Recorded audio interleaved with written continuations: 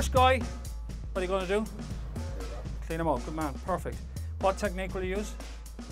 The knee lift, okay? All right. Go.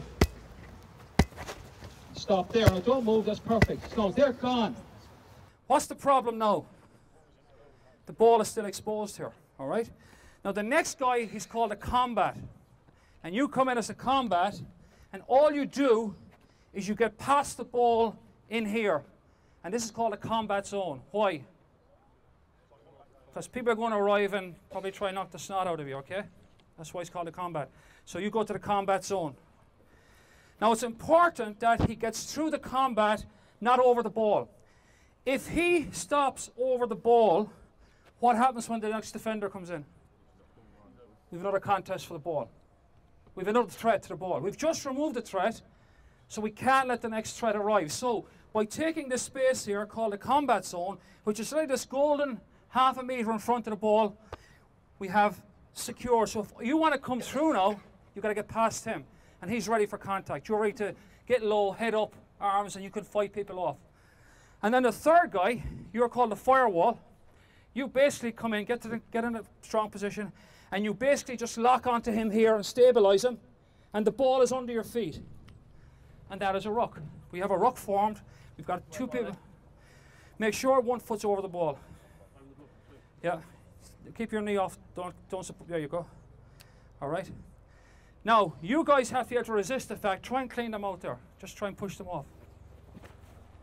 All right, that's exactly it. So, let's do this real time. The reason I'm doing that is a stagger. They arrive in a sequence, not together, okay? So you'll be clean out, you'll be combat, your firewall. And call your role. Because if three guys are running together, and I shout, I'm clean out. Because I'm combat, I'm firewall, boom, we're in. Okay? Ready? Go! I'm clean out. Yeah, come back. Right now, here's a slight problem. The temptation sometimes for combat is to go down to ground, you can't, or go too far. Now, if you go take one step forward, just one step, one step, what's happened here is for him to firewall, the ball is out. So the combat has to be very aware he doesn't go too far. If he goes too far, he can't firewall him, and if you do fire one, the ball is out.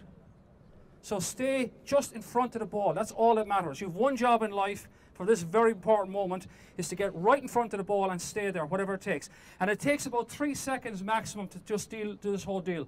Let's go one more time. Go! They forgot to call their role, all right? Which is, it sounds, a, it sounds a bit pedantic to make them do it here, but in a game they're going to have to do it. I'll put a lot of clarity around it, okay? Go! And there you go, there's the ruck, okay? Now, you've got to call your role. You've got to call your role. You've got to win four rucks. Hit the marker, clean the ruck. Hit the marker, win the ruck. Hit the marker, win the ruck. Four rucks. You're stepping over, you're lying down, you're poaching, and you keep changing around. Do different things. Make them make a decision. All right? Go! Yeah, I'm clear out. Yeah, come back, come back, come back. Break! Go, go, go! Yeah, I'm clear. Yeah, come back. All right, go, go. Clear out, clear out, clear out. Yeah, come back. Foul.